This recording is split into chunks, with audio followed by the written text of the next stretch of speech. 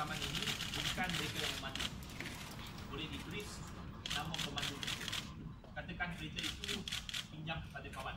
Pada ketika itu. Kawan itu bawa kereta dia kena saman uh, dia kena uh, berdiri laju tolong pulangkan saman ini kepada JBJ dengan nama pemandu yang sekarang. Sebab sekarang ini kalau yang bukan membawa itu kalau kena, kamu kena saman kamu subjek juga kepada sistem